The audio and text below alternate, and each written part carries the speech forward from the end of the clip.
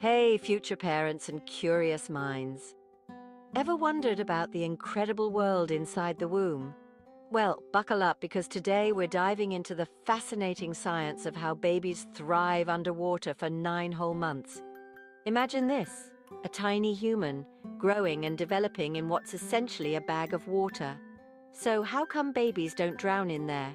Let's unpack this mystery together. First off, babies in the womb aren't breathing air like we do. They get everything they need through the umbilical cord, including oxygen.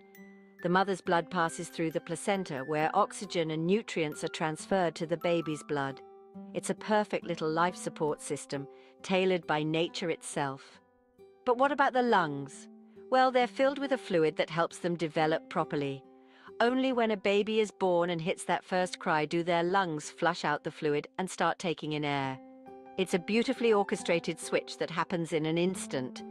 Oh, and don't forget to subscribe to Mind Musings for more incredible insights like this one.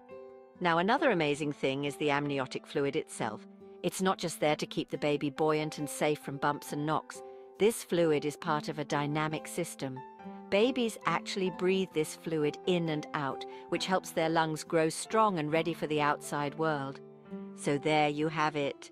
Babies are perfectly designed to thrive in their aquatic home until they're ready to greet the world. It's just one of the countless wonders of human biology. Thanks for tuning in, and remember to keep your curiosity alive. See you in the next video, and don't forget, change your watermark to Mind Musings because we're all about diving deep into the wonders of the mind and beyond.